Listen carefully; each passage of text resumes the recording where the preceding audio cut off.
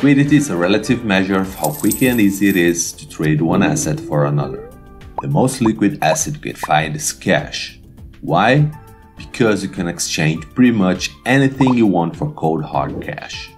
On the other hand, if you look at real estate, you quickly notice that find a house buyer takes way longer than find someone that wants to buy a share from Apple or Google.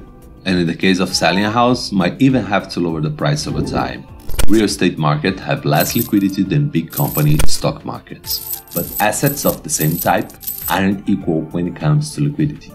If you wanted to buy $10,000 worth of Bitcoin, you would be able to do it quickly and at the moment you wanted for the price you wanted. And the impact your order would have would probably be less than 0.1% price increase. But try to use the same $10,000 to buy a small cap coin. The market is way less liquid and you might have a hard time to execute the trade at the price you wanted.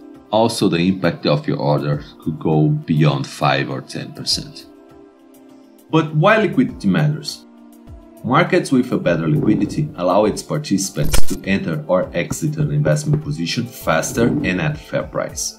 Let's go back to the real estate example we used before. If you're not in a hurry, you can put your house for sale at a fair market price and wait a few months until someone appears willing to pay that price. But if for whatever reason you need to get your hands on that cash fast, you will have to keep lowering the sell price to start attracting more potential buyers. Same logic is true for any other markets. Markets where it's easier to find buyers and sellers, also known as high liquidity markets, tend to attract more participants to it, because investors can open and close positions at any moment they want. Every market participant have a different reason to buy or sell an asset, and maybe even more important, when to do that operation. Imagine that you wanted to buy a Bitcoin one year after Satoshi Nakamoto mined the first block. At the time, it was an illiquid market and was pretty hard for buyers and sellers to meet each other at the exact moment they wanted to trade. The rise of both centralized and decentralized exchanges created places for buyers and sellers to meet, but market makers and liquidity providers play a major role on improving the liquidity of those markets. Let me tell you a story. Imagine a market that only have three players, Alice, Bob, and Charlie. Bob, a crypto miner, receives one Bitcoin as mining reward every month but he can only put his Bitcoin for sale once a month.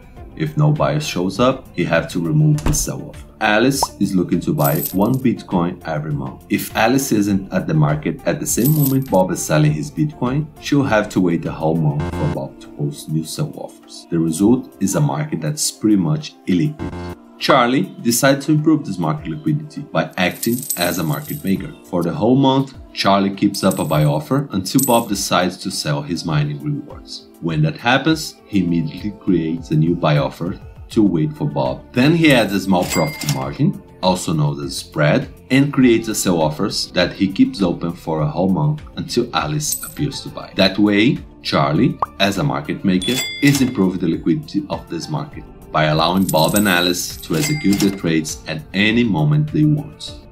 Market Makers provides a service by constantly creating buy and sell offers, allowing other participants to enter and exit positions at any moment at a fair market price. Without market makers, liquidity would be way worse across all markets. With Hummingbot, our free and open source trading robot, anyone can create a market making strategy. With the Hummingbot liquidity mining program, individuals can be rewarded for providing liquidity for cryptocurrency projects, and projects can increase their token liquidity with the power of the community.